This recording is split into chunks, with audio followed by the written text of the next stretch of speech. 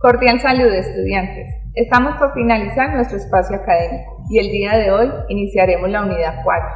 Nociones y cambios y políticas públicas de familia y diversidad. Como lo hemos trabajado durante la asignatura, la unidad se compone de dos espacios de aprendizaje. El primer espacio de aprendizaje es diversidad y desigualdad de las familias latinoamericanas. En el segundo espacio de aprendizaje, política pública de familia y diversidad.